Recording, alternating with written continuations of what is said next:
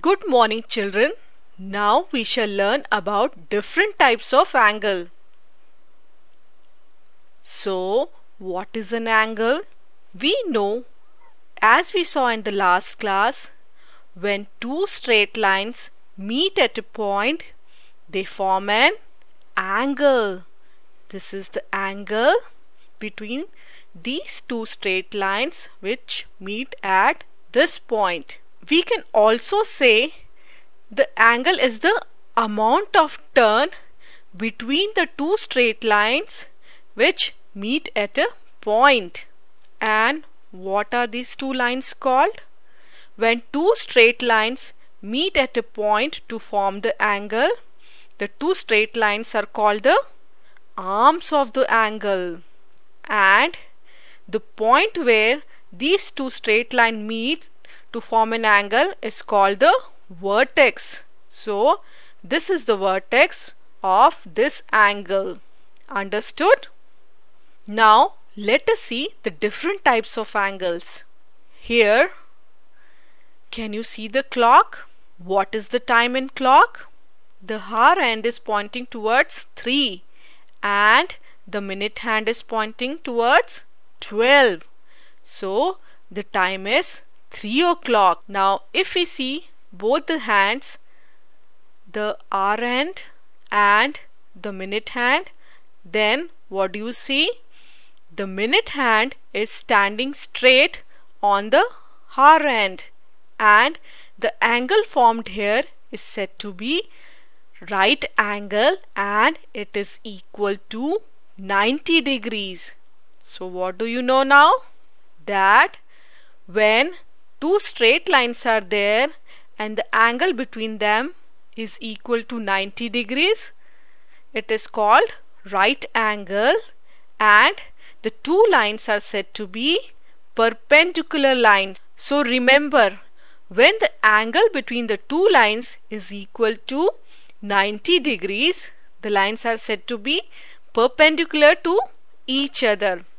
And same thing we can say about the hands of the clock that these two hands are at right angles or they are perpendicular to each other. So, we used a curve to represent the angle between the two lines. But when it is 90 degree, this angle can be represented by two perpendicular lines instead of the curve to show the angle between these two lines is equal to 90 degrees. Now let's see this building. Here the building is lying straight on the ground or you can see the building is having an angle equal to 90 degrees with reference to the ground. We can say the building is perpendicular to the ground as the angle here is equal to 90 degrees or we can say the building is at right angle to the ground. So now you know the building is said to be perpendicular to the ground. Now which is this building? Can you recognize it? Yes, it is a famous building which is Leaning Tower of Pisa. Do you know how it got its name? See, if we see the angle, is it a right angle? No, it is not a right angle. So, we can say this leaning tower of Pisa is not perpendicular to the ground. Understood? As it is not making an right angle with reference to the ground. Now here Aman is doing exercise. For this, he stretches hands this way. Can you tell what is the angle formed by these two hands? Well, if you see, it is at right angle. So, in this position, we can say the two hands are at right angles to each other. Understood? See, here we have drawn two perpendicular lines to represent it is a right angle or that the angle is equal to 90 degrees. Now see the clock again. what is the time now? Here the time is 5 past 3. The minute has moved and the angle has reduced. What we can say? The angle is less than the right angle or it is less than the 90 degrees. So when the angle is less than the 90 degree we call it acute angle. So in this position acute angle is formed between the two hands of the clock. Here if we see the angle between the jaws of the crocodile what will you see? The angle is formed and it is less than 90 degree. So here too we can say the angle formed is an acute angle. See it's an acute angle.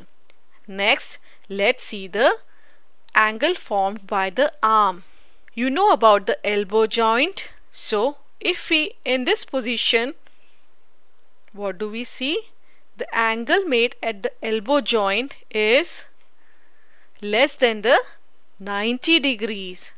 So we can say it is an acute angle at the elbow joint in this position.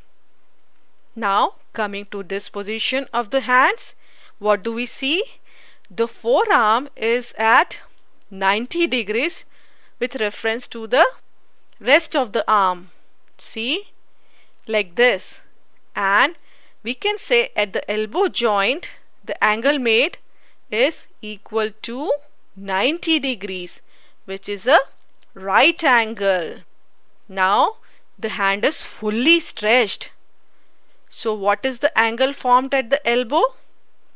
Well, it is almost equal to 180 degrees.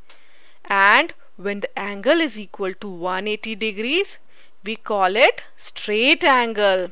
See, here it is the straight angle. Why is the straight angle equal to 180 degree? Let us see why it is so.